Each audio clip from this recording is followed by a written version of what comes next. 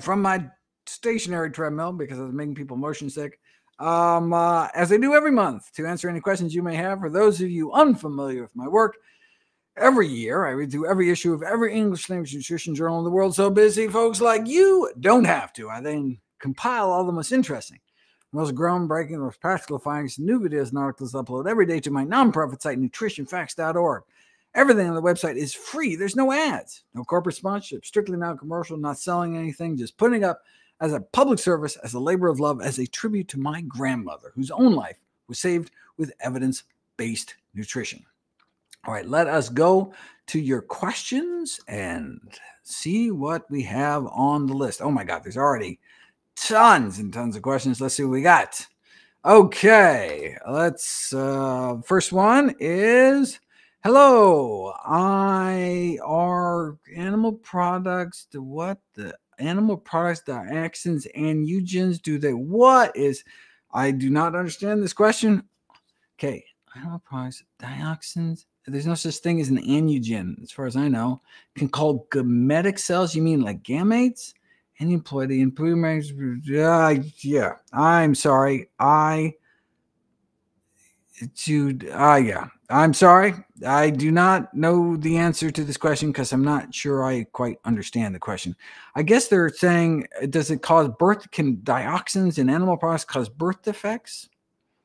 Um that is not something that i've looked to in terms of specific birth defects like down syndrome. I don't know. Next question. Is there any real benefit to supplementing with supposed supposed clean vitamins? I don't know what that means B12, D3, iodine, omega 3s as opposed to the cheaper versions with added fillers? Or is this just a sell, sales ploy? I don't know what clean vitamins means. So maybe someone's selling something, calling them clean. Um, I mean, it doesn't matter if there's, I mean, if there's some, you know, rice powder or something as a filler for your vitamin D, as long as you're getting the vitamin D that's actually on the label, who cares? It's like this much rice powder. I don't know. So uh, I wouldn't spend extra money. I'd spend that extra money on buying more kale. Okay, next up. Where can I get video testimonials without actors of type 2 diabetes, type 1 diabetics for um well, I don't know where you get video testimonials. I guess you put a put a you, you make a post online and say I need testimonials for somebody um, who requires these, you know, has these uh, particular uh, uh, disease and on a particular diet. Next up, maybe I should start reading these questions first before just clicking on them, just in case we can answer some better questions. Um, okay, should we have whole food plant based veganism educated at? We, we, we got some bad grammar problems today. Educated at universities, colleges, medical schools, and schools and schools as part of holistic medical biosciences or biochemistry subject programs as part of a study degree. Uh, we should teach more nutrition in medical schools. Yes. I'll just take that as a. Um, will I do a video? What is an anugen? I've never. That sounds like something someone's trying to sell you anything. All right, I am actually going to read the questions just because I get such weird ones. Um, uh, uh well, here's one that that's legitimate. Uh, is it okay to take over the counter plant sterols such as chol- CholestOff? Yes, um, you can. Although you can get uh, sterols and stanols by eating nuts and seeds, and uh, that uh, so you don't need to take them in supplement form, but you certainly can. Um, okay, this is um, this is a kind of a, a, a just a clarification question. Um, uh, they love how not to age. That's very nice. Um, can I please explain what is case fatality rate in relation to studies? Um, uh, so that's the number of people that um, died. So uh, um, uh, the so it's like um, uh, if there's a higher case fatality rate in one group versus you know randomized to supplement X versus randomized placebo, a higher case fatality rate would be bad. Lower case fatality rate would be good since fatality not a great thing. Okay. Okay, well, this question Can the weight loss benefits of tea and coffee also be obtained from decaf? You'd have to check my How Not to Diet book where I talk about um, tea and coffee. In terms of the um, in terms of activating autophagy, something from my latest book, How Not to Age, Um, autophagy is activated by the chlorogenic acid, not the caffeine, which the chlorogenic acid is the primary antioxidant in coffee. And so decaf or calf works just as well in terms of decreasing um, all cause mortality. So three cups of coffee a day associated with 13% lower risk of dying from all causes put together. Um, and the healthiest coffee is actually paper filtered because it uh, traps the cholesterol raising compounds in coffee, explaining why people drinking filtered coffee live even longer than those drinking unfiltered coffee, though they both live longer than those not drinking any coffee at all. Um, is A2 milk good for health? I talk about that in a video on nutritionfacts.org. Just type in A2 in nutritionfacts.org and it'll pop right up. Um, okay. For the purposes of the Daily Dozen, does a portion of bok choy or cabbage tick the boxes for both leafy greens and cruciferous vegetables? No, they are. So pick one. They are both. Uh, uh, so we want people to get uh, leafy greens. So you could eat all cruciferous um, but then you'd have to eat two servings to uh, check off both boxes. That's how I. Um, uh, uh, uh, uh that's how I kind of created the daily dozen to work. So, for example, like um, I encourage berries and other fruits. Um, those are two separate boxes. Um, and so, wait a second, berries are fruits. So, can't you just check off both boxes if you just eat berries? No, you got to eat berries and you got to eat other fruits. Just like you got to eat cruciferous vegetables and other leafy greens, though those can be cruciferous vegetables too, just like the other fruits can be more berries. Um, all right. Um, does frozen turmeric root still deliver the benefits even though it's been frozen? I believe so, and that's I right now. In fact, this morning I took fresh fro- uh, turmeric root chopped it up into pieces for my vegetable smoothie recipe, which I uh, have a, uh, a, cooking video on on nutritionfacts.org um, uh, because I'm actually home for a few days after being on the road for weeks. And so I can eat, I can drink my vegetable smoothie that I love so much. Um, and so I got some fresh turmeric root, chopped it up in quarter inch pieces because one piece goes in each smoothie recipe, and then put the rest in the freezer. Um, and so I am counting on the fact that all the nutrition is preserved. All right. Um, I've heard it recommended to pair fruits and nuts uh, to have proper nutrition and absorption. Is that true? Um, what is true is that uh, we want uh, no the, the we want to have whole food sources of fat in our stomach at the same time we're eating carotenoid rich foods like dark green leafy vegetables or fruits and vegetables in general. So we're eating our greens. We want to maximize absorption of both water soluble and fat soluble um, nutrients. And so that's why having some avocados, nuts and seeds, nut and seed butters in our stomach at the same time boosts the absorption of those um, vision enhancing, uh, you know, compounds in greens like lutein, zeaxanthin, beta carotene, lycopene, et cetera, et cetera. Um, and so, uh, so we should not be eating fat-free meals if we want to maximize the absorption of all the wonderful um, plant nutrients. But we don't want to have uh, refined sources of fat like uh, like oil. We want to maintain retain all that nutrition by eating whole plant foods. Oh, this is an easy question. Um, when will the How Not to Age cookbook come out? I told everybody December 2024, which is when it was supposed to come out, but evidently the printer is the publisher is having problems getting a printer. It's very expensive printing because it's like full color printing, it's all fancy. Um, and so I think they actually have to print it outside of the country these days. Um, uh, anyway, for whatever reason, it's not going to come out till spring 2025. I'm so sorry about that, but that's the current um, estimate. But it's done. Actually, the we sent in the manuscript. All the recipes are done. It's awesome. We actually tested the. Re- we had a whole bevy of volunteers. I was just speaking at a couple talks, and people come up to me like, "I'm one of your recipe testers." Um, and so, thank you everyone who's tested all the recipes. They're good to go but oh my God, it's going to be another year before the book comes out, unfortunately. Oh, I just checked on this without reading it first. Let's see what it says. Do people with inflammatory disease such as ulcerative colitis need more protein in the RDA to help with healing quicker? Huh. I don't know of any higher. Um, certainly, of wound healing requires um, higher protein intake. So if you have like pressure ulcers, um, randomizing people with pressure ulcers to higher protein intake actually has improved healing. Um, so any kind of you know recovery from surgery, you need to boost your protein intake. But uh, so it's possible. Oh God, burn victims have extraordinarily high uh, protein intake, protein requirements. I mean, it would not surprise me that inflammatory diseases uh, might have uh, higher protein intakes, but I don't. Uh, I don't know if that's actually been uh, tested.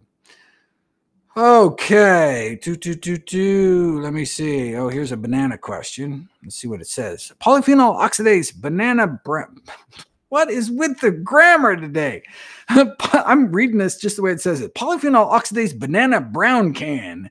An apple be eaten with the meal, or should they be eaten alone on empty stomach so not to lower nutrients absorbed? Like you said, bananas should no lemon juice, please. What is going on? Ha!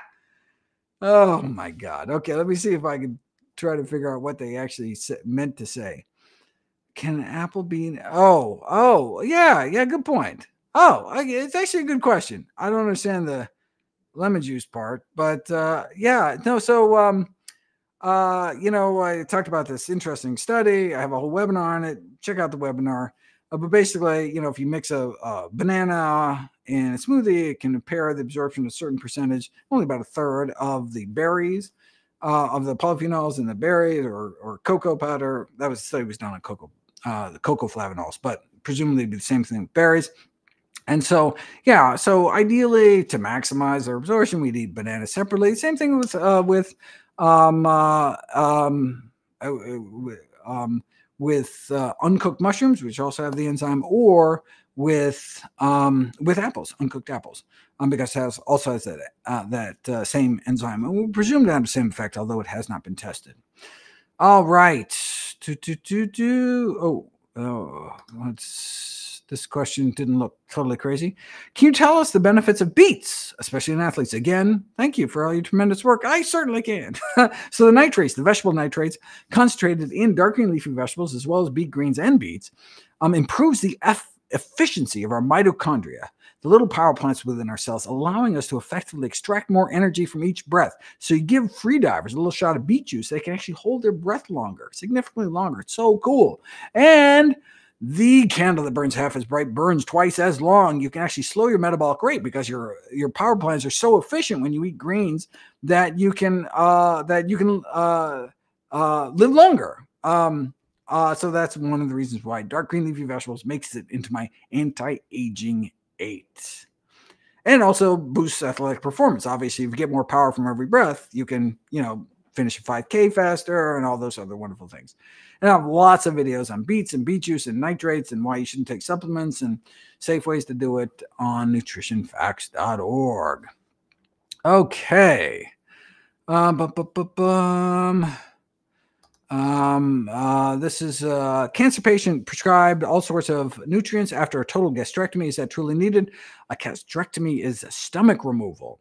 Um, and uh, yeah, so anytime one undergoes uh, kind of a rearrangement or excision of significant parts of one's digestive tract, one may, may need to take supplements for the rest of their lives.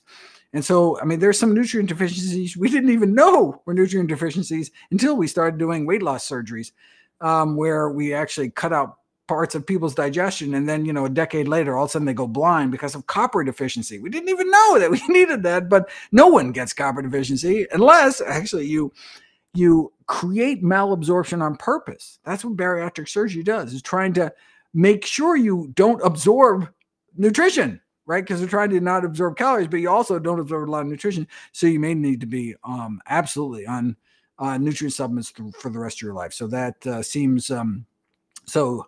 Um, uh, you should talk to your um, uh, talk to your uh, dietitian um, uh, um, after any kind of surgery like that and see what nutrients you need to take for the rest of your life. Just because you don't have the organ um, necessary to either absorb it directly or create the compounds that are necessary for absorption lower on in the digestive tract.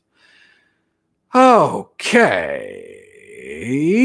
All the plant based omega 3 algae supplements I've found contain sunflower oil. Is it normal for these supplements? If not, can you suggest a brand?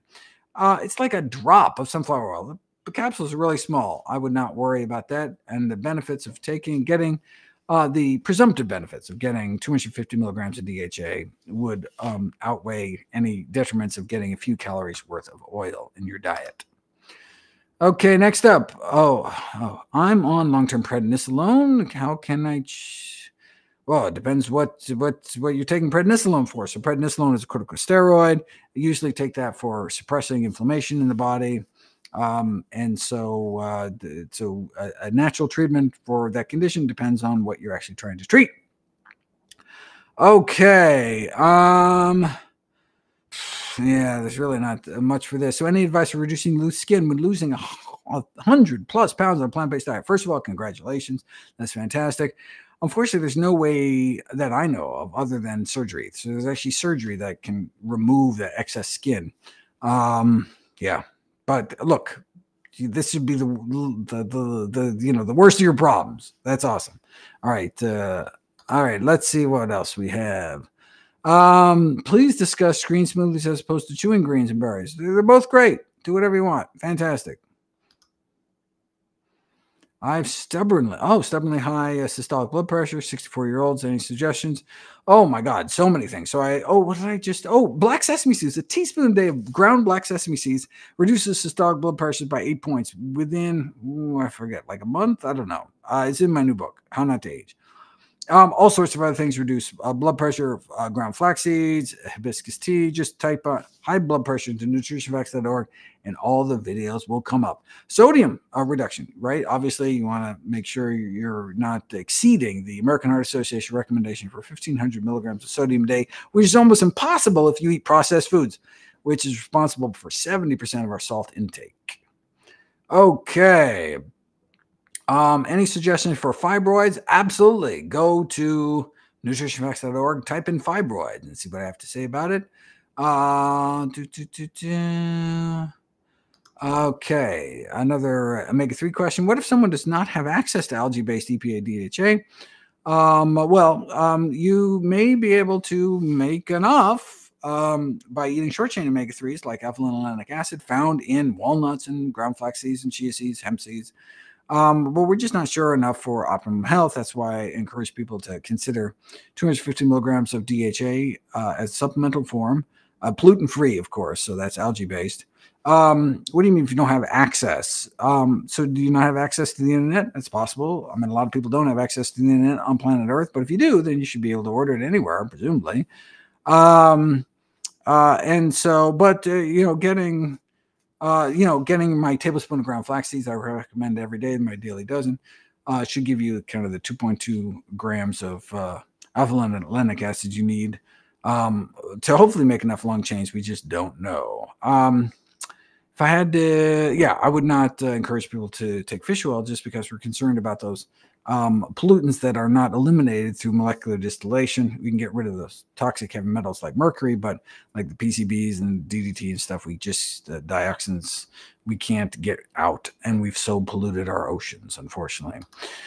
What is the solution for osteoarthritis, the number one cause of physical disability in men and women? I've got tons of videos on that. Encourage people to switch to a plant based diet, including specific plants such as strawberries, um, which have been shown to decrease total pain, intermittent pain, pain improve quality of life, etc., and disability, etc., etc. All right, wonderful. Whew. Um, oh, that's a good question. I get that a lot in talks. Uh, what about the lead content in cocoa powder? Um, so there are so we're concerned about lead and cadmium, two um, uh, toxic metals that have been found in certain brands. Um, so if you just eat uh, cocoa powder once in a while, like you know chocolate cake on someone's birthday or something, you don't really need to worry about it. But if you eat cocoa powder the way I encourage you to eat cocoa powder, like a tablespoon a day, which has all these um, beneficial effects, um, then you really want to find uh, a low metal cocoa uh, and in which case you can go, there's been two recent ones, one by Consumers Lab, which is a for profit kind of third party testing company, and one by Consumers Union, the publisher of Consumer Reports, a nonprofit organization.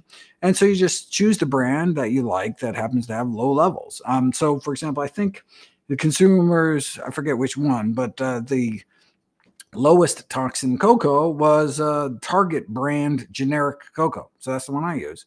Um, uh, you know, so great now, it's funny. I was in Europe telling just go to Target and get cocoa, and they're like, "What?"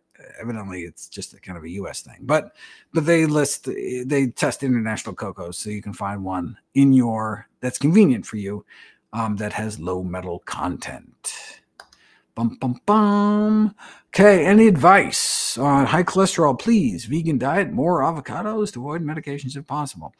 Um, if you have high cholesterol, you need to decrease your intake of the three things that increase your cholesterol in your blood, which is saturated fat, trans fats, and dietary cholesterol. Um, so, uh, if you did go on a strictly plant based diet, your cholesterol levels would drop down on average to perfect, uh, at least for primary prevention. Um, so uh, you know, total cholesterol of uh, of uh, less than 150, LDL cholesterol less than 70. However, it's a bell curve, if you end up even higher than that due to genetic predisposition, then you can add. The next step would be add cholesterol lowering foods to your diet, like as documented in the portfolio diet.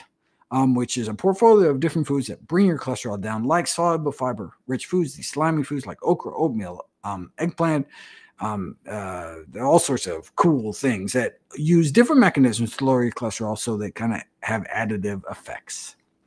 That's what I would suggest. And it's a plant based diet, but just with specific plant foods to lower your cholesterol um, lower.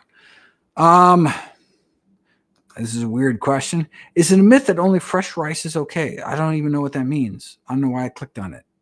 It doesn't make any sense to me. As opposed to like refrigerated rice, or I don't know. Anyway, um, bu- bu- bu- bu- uh, okay. Oh, here's uh, here's a question. I take Costco B12. Finances are niche me, so tend to only do Kirkland stuff. Is that okay? Yeah, sure. In fact, I think uh, Kirkland brand is UP, USP certified, which is what I recommend getting.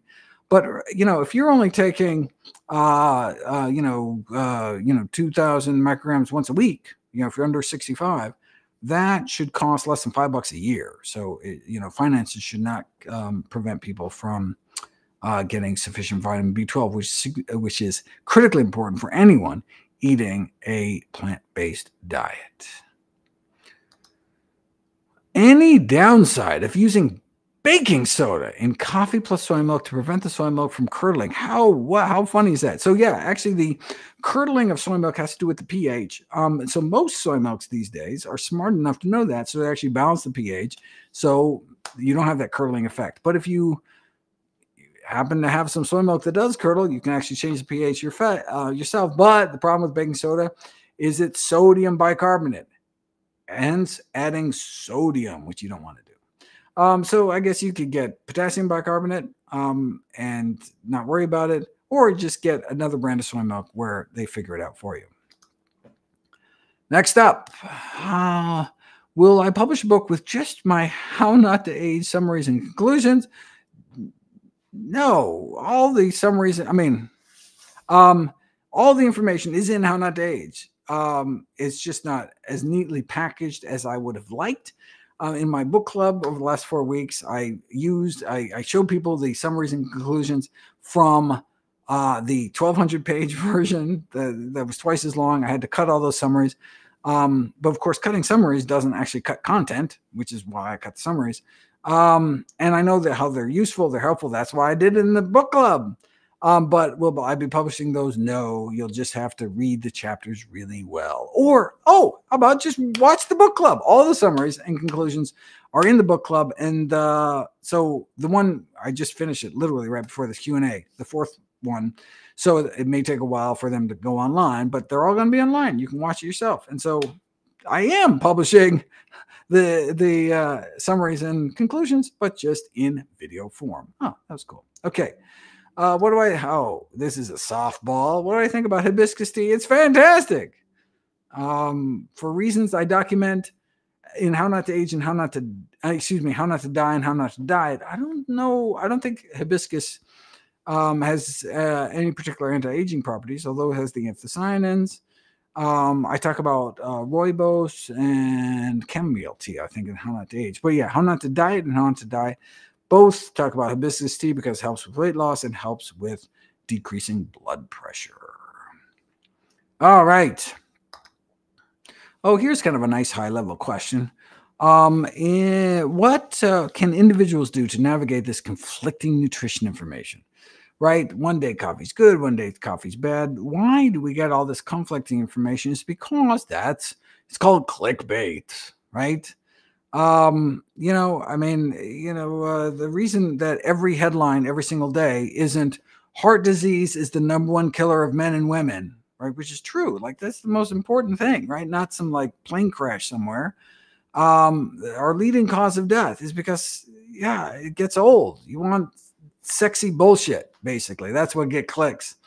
And so by saying coffee's good, then coffee's bad, get more clicks. Or you say, you know, if I say broccoli's good, who's going to click on that? Duh. But if you say bologna is good, oh my God, that'll get clicks, right? Because they're like, ooh, that's contradictory. Anyway, um, so, but what can we do? Um, so I encourage people to, for example, go to the True Health Initiative um, website, True Health Initiative. So there's a nonprofit organization, kind of the IPCC of nutrition. How do you know?